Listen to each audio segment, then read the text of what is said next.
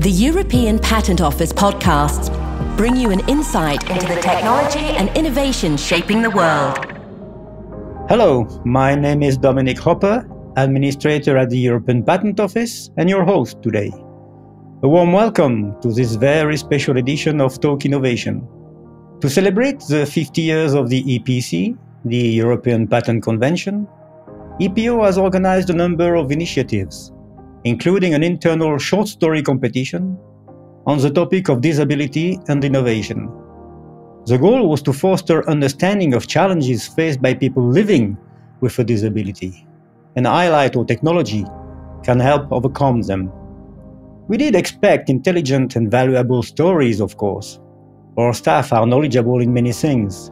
What we didn't expect, though, was such an overwhelming, emotional, empathetic, and creative response from colleagues, sharing their unique personal views, and going beyond the short story format to include accounts of personal experiences, videos, and poetry, heart, soul, and creativity, on top of knowledge and intelligence. Therefore, while this was intended for our staff only, we decided to share the three winning pieces also with you EPO's users, stakeholders, and followers. And what better way than reading the winning stories and asking the authors themselves to tell us about the flame and inspiration behind their words? So, without any further ado, let's start with the first story that won the most moving prize. Who Am I? A science fiction content written by Brian Routledge, examiner in molecular diagnostics for those of you who don't know, patent applications are texts and drawings describing an invention for which an individual or a company is seeking legal protection. An EPO's examiner's main task is to search and examine these patent applications. This being clarified, let's go back to who am I? With this story, Brian addresses the question of gene therapy in a very original way crossing viewpoints of scientists, patients, and family members, and describing their challenges, their doubts, their hopes, their fears.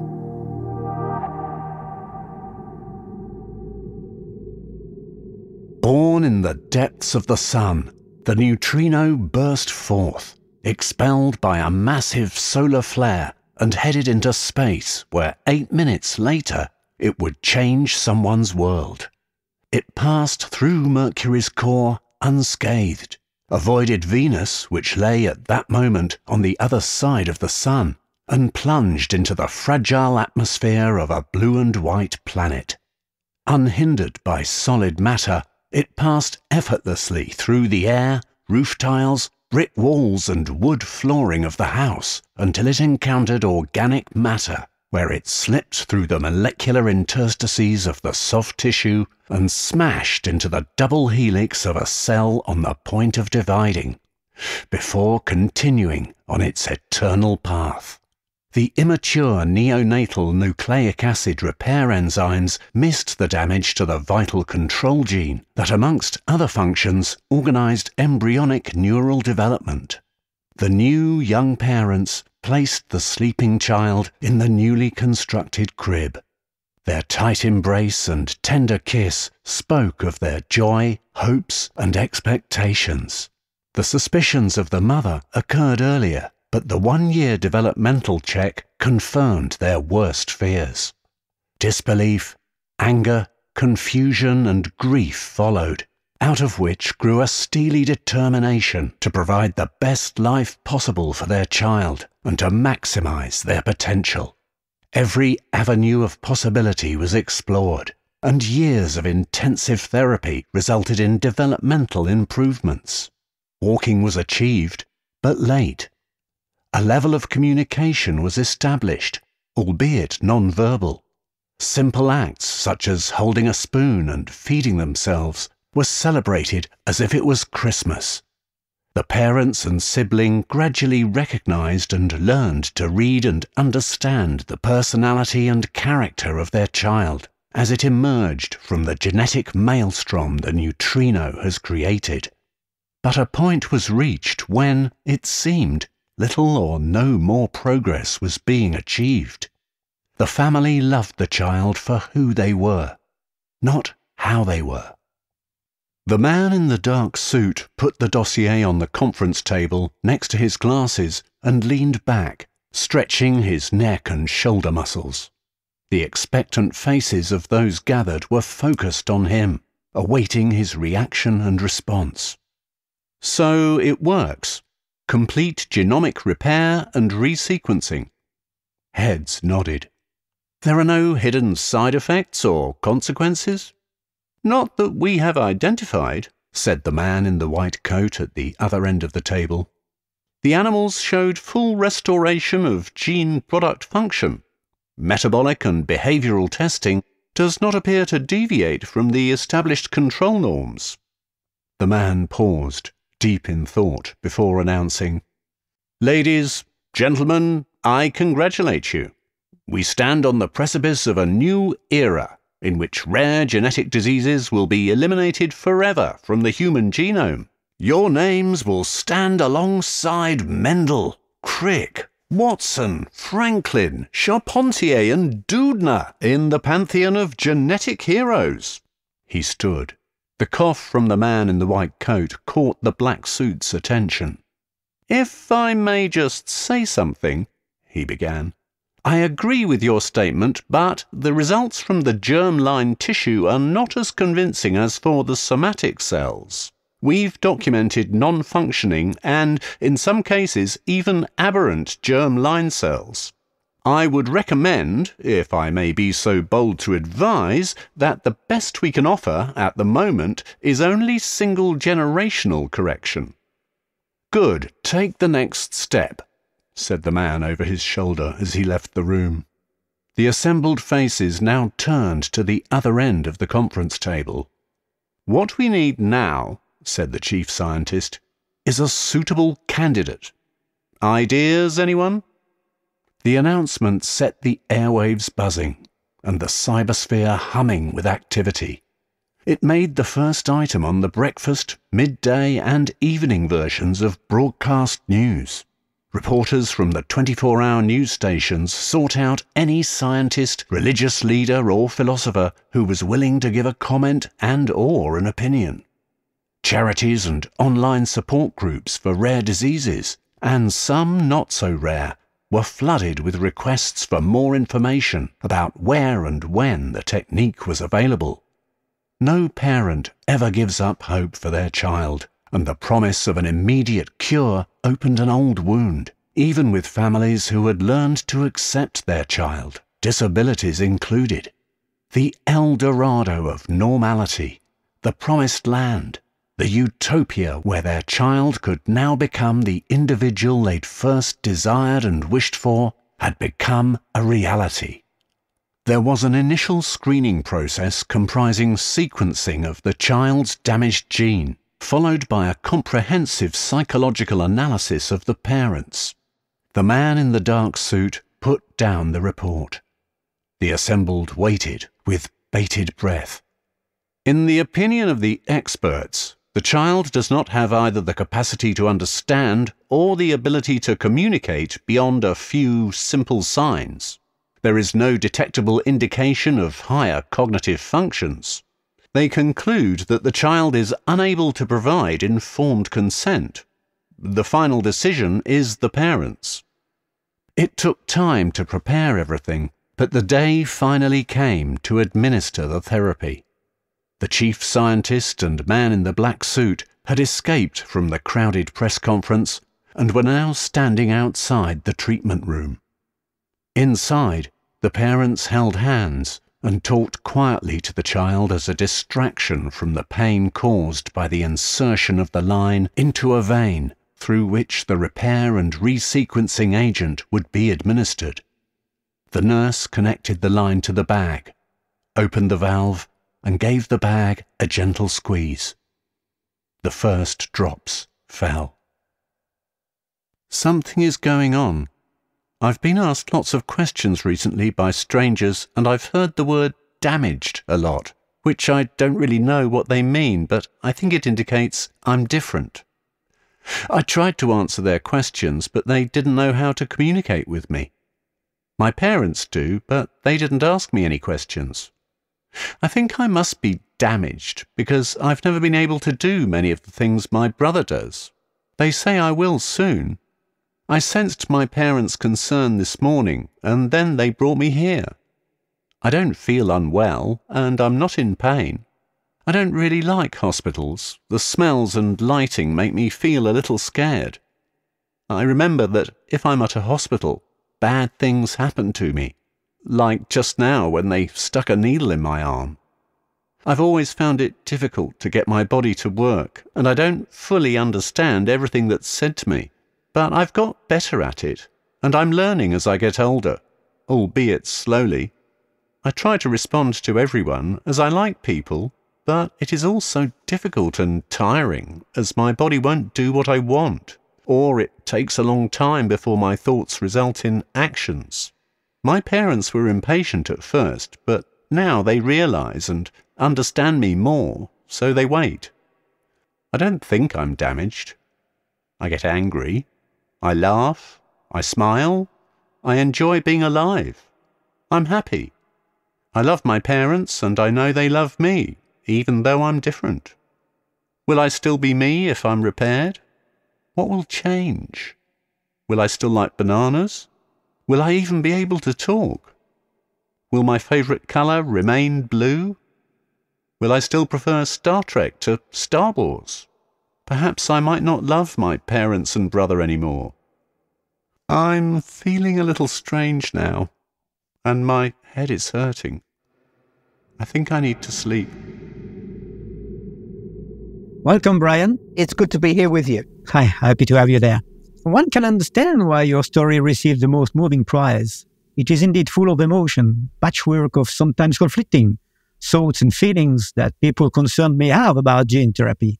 Where did you find your inspiration? Partly comes from personal experience. The story is very close because we do have a son. He has Pitt Hopkins syndrome, which is known as an ultra rare genetic syndrome. And the description of the story of how it happened is the best they think. The inspiration for the basis of for the nature of gene therapy kind of comes from that. My wife runs a, a charity for that particular syndrome. And so, kind of the discussion of gene therapy had taken place. We've had with a number of families. So, I guess it's part of my motivation was to ask the question how would gene therapy affect someone like our son? There is actually a famous quote, I think it's from Jurassic Park and the, the character of Ian Malcolm. I could be wrong. He basically says, just because we can do something, should we do it?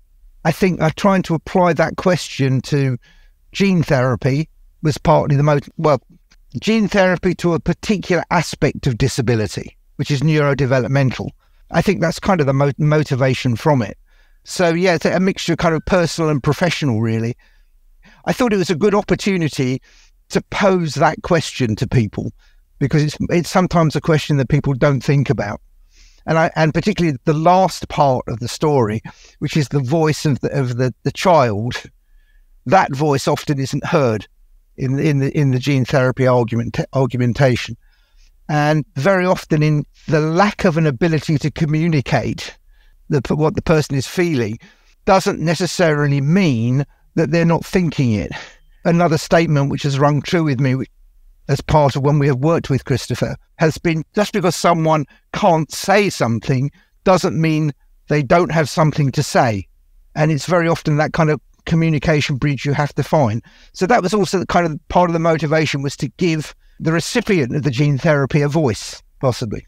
Yeah, I felt, I, to, to, to, be fair, I felt a lot on that last part. I saw that what was the original part, you know, giving the floor to the people who have different interest on the stuff. And this part, giving the floor to someone who, you know, there is something that says uh, when you cross someone disabled way and you see disability before you see the person. And then very often you see only disability. So giving the floor to, to that last part of, uh, well, who am I going to become? I, I, found that very powerful. I understand now that you can feel that it's coming from a, a personal experience. Uh, it was very powerful. It was very important to make the tone and style of that final part different to the to the rest of the story. I mean, to, to get that kind of change of voice and a different perspective. The first part of the story is it's kind of pure science fiction, based on some experience, perhaps a little bit of cynicism about the motives of some of the people who are doing, doing gene therapy as well, mixed in there. So the contrast between the two parts was one thing I really wanted to establish. In, in the first part, I could read some knowledge. So my question was, uh, is gene therapy related to your technical area, the one you cover in the office? Yeah, it's exactly the area I work in. Um, I'm, I'm a biotech examiner, and particularly in the area of clinical diagnosis.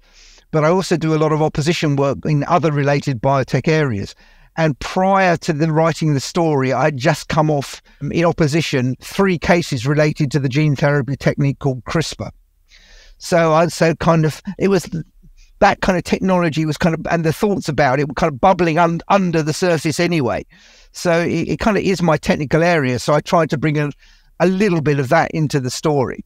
Kind of wasn't plucked out from nowhere. Oh, yeah, I have some experience, at least from a theoretical point of view, of gene therapy. Yeah, well, I, I do think it worked well because there's also something that uh, that is strongly to be felt in uh, in your text. How did the colleagues and uh, other potential readers react uh, when the text was published? Pretty positively. I'm kind of well known within the biotech area for writing stories because I'm a member of the EPO Writers Club. Well, I was a member of, having, having recently retired. I shall continue to write for them. And so they are kind of familiar with my style and my ideas. And I suspect from those people, it was a, the reaction was more of art. It's an it's another one of Brian's stories. I did, however, get a number of emails from people who were totally unrelated who felt that I had touched on something, something that they'd been feeling. So the general feedback I got from colleagues was positive. I say I, I don't see myself as a writer. I'm more of a, a storyteller than a writer. So trying to get that emotional content into the story is one of the most difficult things to do. So I think I'm a little bit surprised that people found it as powerful as it seems to have been, because in terms of where do I think my the writing strengths are, I wouldn't necessarily say it's in being able to express those type of things very well. Yeah, you know what? Knowing that I would uh, facilitate a little bit that conversation, I, I gave the text to relatives people I know uh, from different horizons. And, and, and, and the word you said, powerful, is really exactly the central word that I systematically received. Ah, Everybody you. said, there's, they commonly agreed on that. It, it is powerful text full of emotion. Ah, thank you. So I think I wanted to share that with you. Yeah, I wish I could bottle how I managed to do that and put it into my other stories because it's, always, it's always um, I find one of the hardest things to do. Well, I think you did well on this one at least. Well, Brian, thank you very much for this exchange. Thank you. Thank you. Let's now jump to the second story The Exhibition, written by Christophe Poizat, examiner in dimensional metrology. Initially, the exhibition was written in French. It has been translated for this podcast. People interested can find the original version in the pieces attached to the show. What if technology could help transforming disabilities into strengths? This open question resonates between EPO's wall, having in mind some of the candidates of our European Inventor Award, such as Thomas Oxley, who designed a brain-computer interface to control digital devices using thoughts, or the young inventor Filipa de Souza Rocha, who invented a block-based coding system and programming language which allow children with visual impairment to control a robot, a little bit like playing a computer game. Or Elena Garcia Armada, who created the first adaptable exoskeleton for children, and many others. The exhibition won both jury and staff prizes. And here it is. I love it. Hugo Reinhard, a former senior reporter turned art critic, could not believe his eyes the walls of the Art Inc. gallery resounded to the rhythm of his I love it, uttered far too loudly. All the guests at the opening of Selene Debord's photography exhibition turned at once to look at the 40 something year old, with both annoyance and amusement. Some smiled when they saw him in his pink suit, which was far too big for their taste, clearly confirming this stranger's eccentric nature. Undeterred, he raised his glass and shouted even more loudly, Congratulations to the artist! Allowing himself to be carried away by the Ode to Joy, the chosen background music, he looked again at the photographs on display at the exhibition portraits of women, children and men of all ages and from all continents filed past him. Hugo was fascinated by their mysterious beauty, which was enough to make the Mona Lisa pale into insignificance. It was then that he noticed the backdrops, which were both strange and familiar. He wondered, as a good art critic should, could these cities, these interiors, and these landscapes be a key to interpreting the photos? He stepped closer, his face soon brushing against the portrait of a farmer with skin as wrinkled as the freshly ploughed fields that lay behind him. Intrigued, he noted that the paper was singularly and inconsistently grainy, like a work in relief. Do you like it? When Hugo failed to respond, Selene Debord repeated her question, raising her voice. Do you like it? This time, Hugo reacted, taking a step back before making himself known again with an impassioned, No, I don't like it. I love it. He followed up with, But how do you do it? You're the artist, right? Selene whirled around letting her long blue dress break the silence that had settled, before she said in one breath, full of self confidence, Yes, I'm the photographer, and blind from birth, as you probably know. How do I do it? I take photographs by sound, smell, touch, and with the help of my homemade camera, which recognizes my environment, describes it to me instantly, and, in doing so, helps me to frame and capture the moment. But that's not the point. My secret is simple. I love people. I've never seen what I've photographed, but I'm told that it's good, so. Hugo nodded. Your work is not just good, it's brilliant. You have a real talent. Thank you, but why are you shouting so loudly? I'm blind, not deaf. You might not be, but I am, almost completely, replied Hugo. I lost 90% of my hearing in Ukraine during my last reporting assignment, and my hearing aid is not working very well today. On the other hand, Hugo continued, when this hearing aid works, it's amazing because it translates all languages simultaneously. Of course, I didn't have it yet when I was in Ukraine. It's a pity, because I didn't understand when someone shouted in Ukrainian, Watch out, mines. So now I have a hearing aid, and I'm able to walk thanks to an exoskeleton hidden discreetly under a baggy pink suit. Wow, from what I can't see, you're quite charming. Their laughter intermingled once again, their smiles increasingly sharing a sense of accord before Selene spoke again, her face radiant. Thank goodness humanity is progressing. You mean in terms of technology? She thought about it, then decided on a simple answer, not wishing to get into a philosophical discussion about the progress of humanity in general. Yes, without technology, no photos for me, and no listening or walking for you. If I understand correctly, Hugo continued, you developed your homemade camera yourself. So you're not only an artist, you're good with technology as well? I'm an engineer with a PhD in optics. Are you kidding? Always, because laughter is important. But no, I really do have a doctorate in optics. I worked on DVS, or dynamic vision sensors a new type of sensor inspired by nature, which is faster and uses less energy. It will revolutionize optics. Explain it to me. No time. Look it up on the internet. Hugo couldn't fail to hide his surprise. You seem to be in a hurry all of a sudden. What's going on? If you want to know what changed my life, it was meeting a group of people who are, like me, different, shall we say, and who, together with others, want to overcome seemingly insurmountable obstacles. Hugo asked, What do you mean? Our experience is that, the more diverse we are, the more we find solutions to seemingly unsolvable problems. The proof? I'm blind. I have a PhD in optics. I'm a photographer, and my camera is highly innovative. So we have not only blind people, but also deaf people, sociologists, engineers, people without speech, neuroscientists, foreigners, athletes, homeless people, artists, geeks, autistic people, eccentrics, and even so called normal people. A real joy. Our main problem is finding normal people.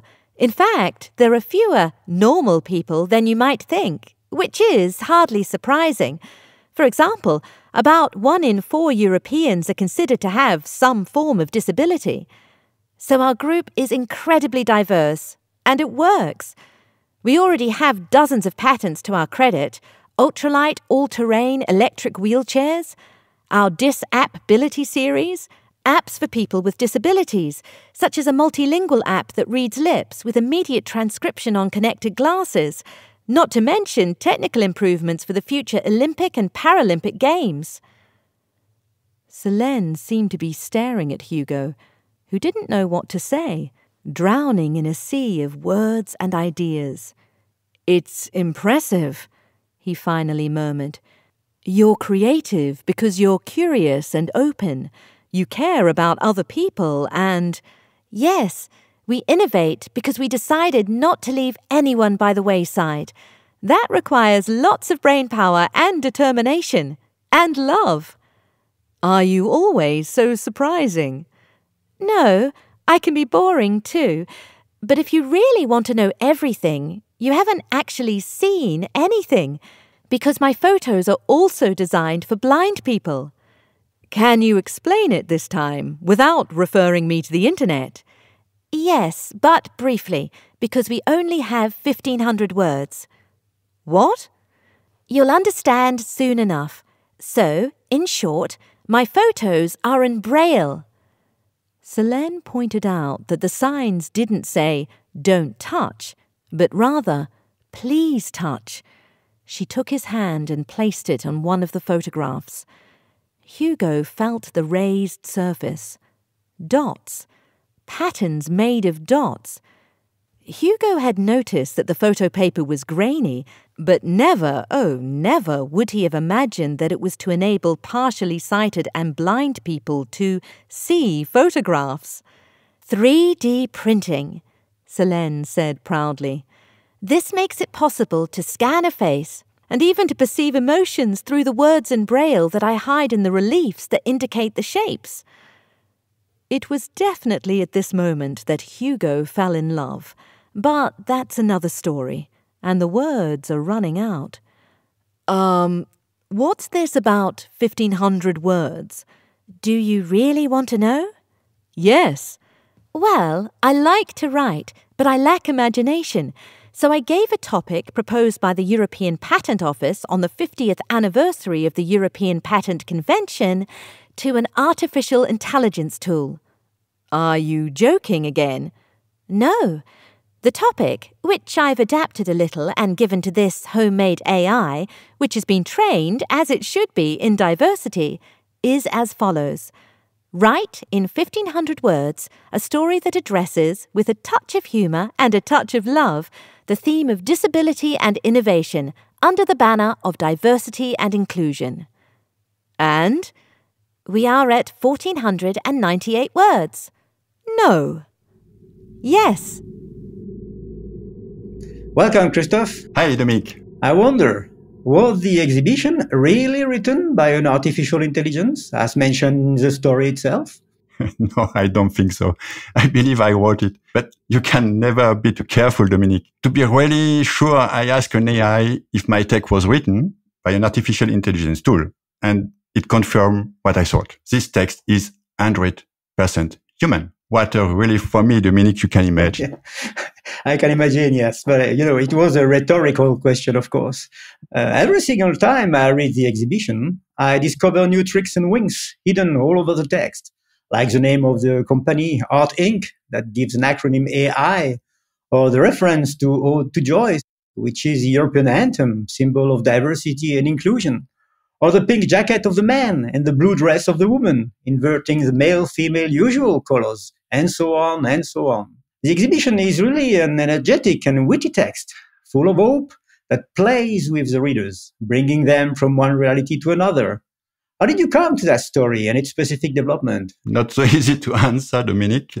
you know it perfectly. Our brain is like a complex AI tool, a kind of black box. So it's difficult, mm, yeah, to really know how some ideas floating around in my head or in your head take shape. However, I remember to have decided to play as much as I could with concepts and words related to handicap and innovation. That was the topic and also related to diversity and inclusion. I'm a D&I promoter, the European Patent Office. So logically, I wanted to insert some basic concept, such as some of what we call here at the office, our 10 inclusive behaviors.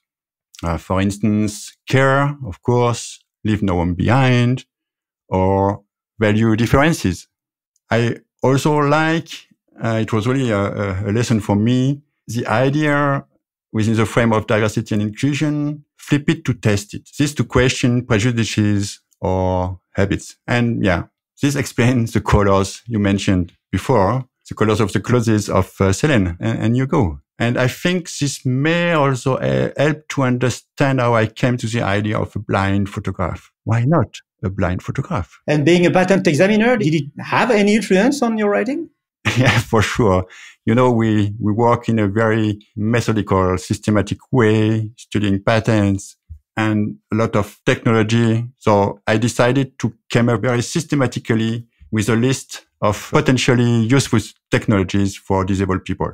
And also I was listing some so-called cutting edge technologies such as artificial intelligence, surprise, surprise, 3D printing, or optical sensors like the so-called DVS or dynamic vision sensors on which I am working. As you said before, I'm working in the field of measurement. Yes, of course, as patent examiner, it helps to get some input. In the invitation to write a short story, it said something very interesting or motivating. Creativity is at the heart of the competition. So simple question now, who is creative? What do you think? Inventors are creative. Artists are creative. So I logically starting thinking about creating a character who was an artist, a scientific and an engineer at the same time. And there was a moment where Selene, a blind woman photographer, came to mind, presenting her work in an exhibition of photos taken by a camera developed by herself and working with a diverse and collaborative team to develop further technology. The 3D printer found then immediately its place in the story. But there was something missing. I remember this. Selene came to me and told me, Christophe, I'm alone and bored. So she introduced me to Hugo. And so it went on. To come back to your question, after a few iterations and loops and loops in the loops, I decided that only an AI could have written something like that. Not me. Impossible. Well, thank you, Christophe. This is very interesting. So I can see now a little bit that you were not on your own to write that whole story. There was uh, different facets of you, huh? the examiner, the D&I promoter, and that somehow even the people within the story uh, dragged you in a certain direction like if it was not totally written only by you, but by the, the story itself. It's really very, very, very interesting. Thank you. Then again, how did colleagues and other readers uh, reacted to this when they saw it? Very positively. Their feedbacks gave me a lot, a lot of energy. And uh, we had really interesting discussions also.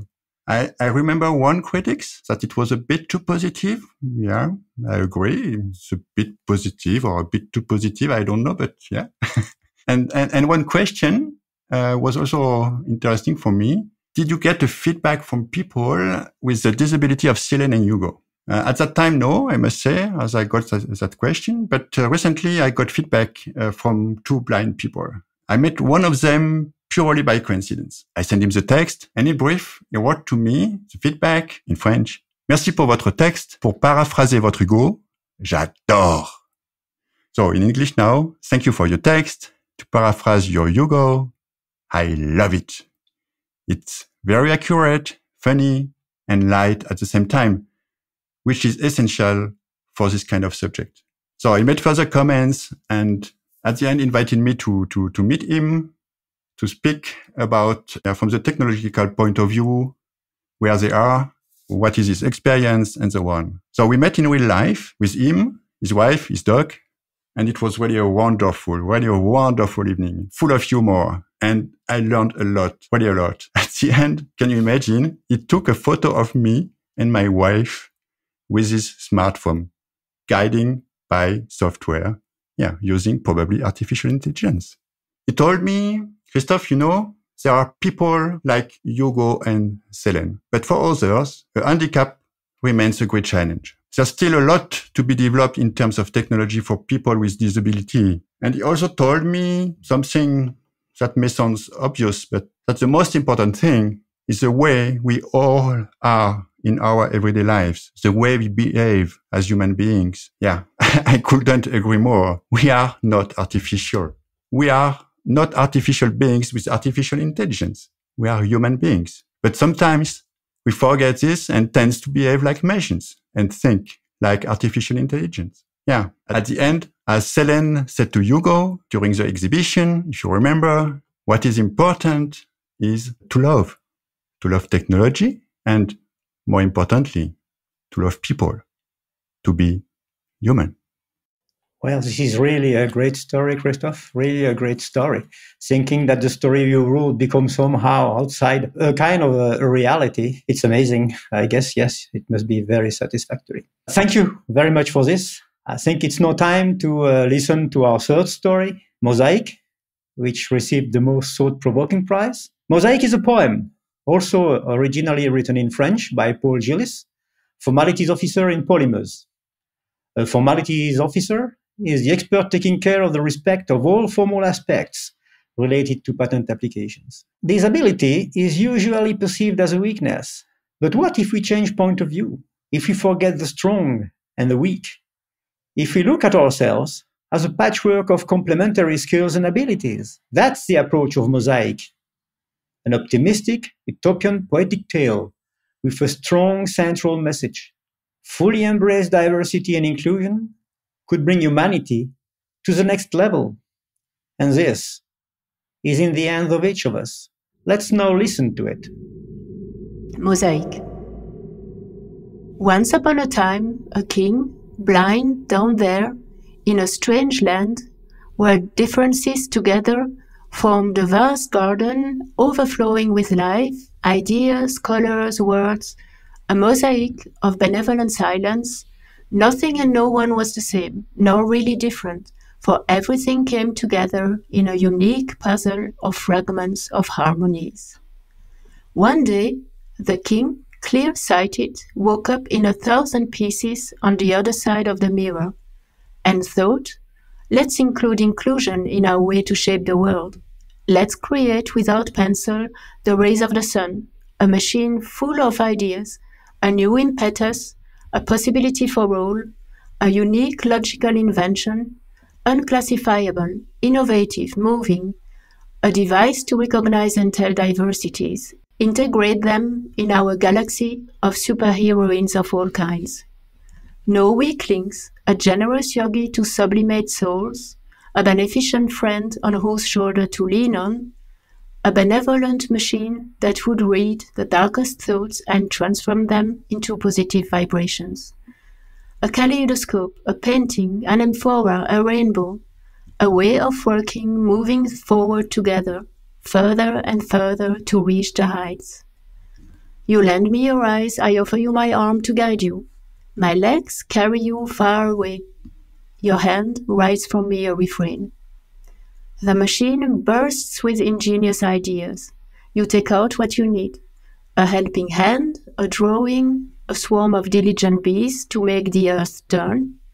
One morning we open our eyes, clear on our superpowers, with endless possibilities in our hands. Once upon a time, there was a king. Look at me. The king is you. The machine is all of us. It's life. It's engine, our ideas, the invention of the century. Let's help each other because here there, everywhere. We are all, after all, superheroes. Welcome, Paule. Hello, Dominique. Really glad to have you here. Your text reminded me a quote of Oscar Wilde. Poets, you know, are always ahead of science. All great discovery of science have been stated before in poetry. How did you come to the idea of writing a poem on this?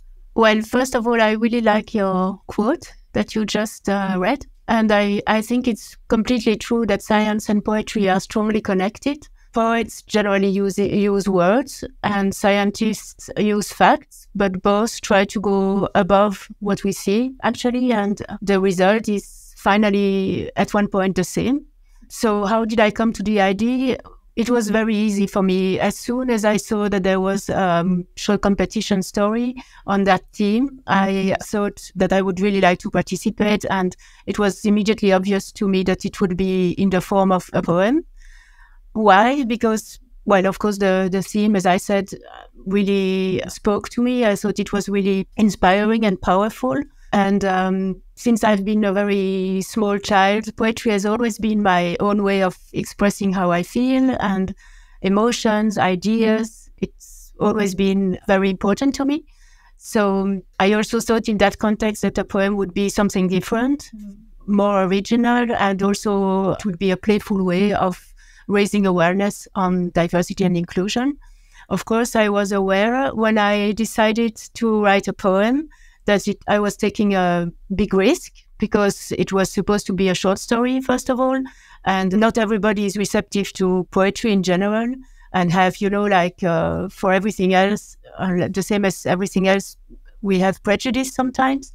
But actually, finally, I decided, okay, I, I have the idea. I wrote a poem. I will just give it a try. And I'm very happy I did because it turned out that everybody actually who submitted a story submitted something different. Not one story was the same style. Everybody had different inspirations and even different formats. So actually, in the end, I was very happy. This is also actually complete diversity in this competition.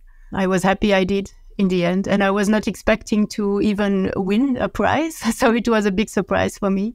Yeah, and it was not any prize, huh? the most thought-provoking prize. I guess it's a recognition of the content. For me, poetry, it's a light complexity. It seems light, and in fact, it's quite complex. I fully saw that in, in, in what you wrote. I really uh, enjoyed reading it. How did the other people react to your writing, uh, colleagues and outside?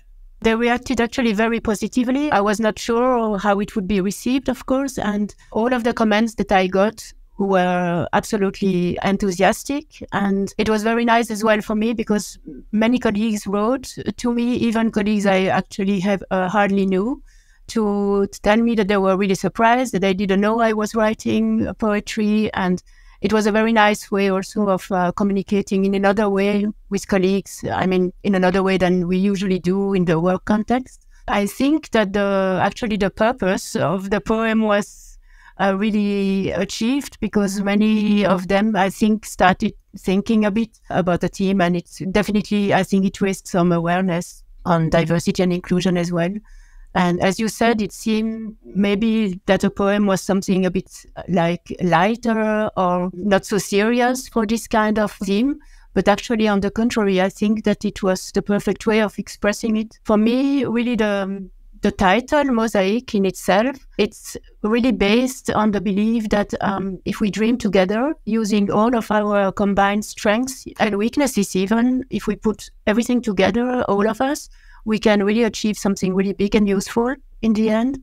And yeah also of course the, the poem is also based on uh, the fact that sharing ideas and thoughts of all kinds and putting them all together is actually the essence of invention, I think. Thank you very much, Paule. In fact, what you said bring me to one thing. The three short stories are very different from each other, and somehow it feels like they are inspired by the very same thing. When we think or look at people, at disabled people, we see disability and then we see the people. But when you start to focus and pay attention to the people and not to the disability, there is, there is really a, a, richness to discover. So uh, really, I want to thank you for your words. Thank you, thank you very much, uh, Paule. Yes, actually, the my major inspiration when I started thinking about writing a poem was a dear childhood friend of mine who um, actually suffered, unfortunately, from a very severe degenerative condition, which made him gradually lose all of his faculties.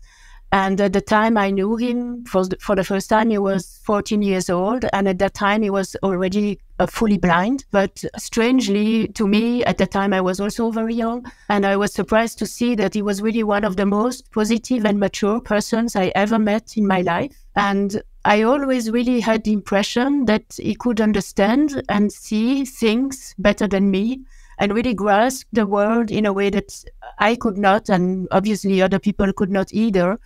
He was extremely imaginative and he was always full of bright ideas and always so enthusiastic. And I thought, I mean, I, I never met someone like that in my life. I thought it was very impressive. And I kept him in my memories because unfortunately he passed away since then when he was still very young. And um, I could not uh, write uh, this kind of poem without thinking immediately of him, of course. He was the starting point of my poem. And specifically, he is my blind king who actually is, uh, for me, completely a visionary. Well, that's it for our disability and innovation stories. I hope you found listening to them as worthwhile and inspiring as we did, and that you enjoyed discovering the people behind the professionals, the artists behind the experts. That's it for today. We would, of course, love to hear what you thought of our stories and this special initiative. So please let us know by commenting here on one or the other of our posts linked in the show notes. And if you liked it, subscribe to our channel on the podcast platform of your choice. Thank you very much. Subscribe to the European Patent Office's podcast channel, Talk Innovation, at epo.org or on your favourite podcast platform. Let's talk innovation.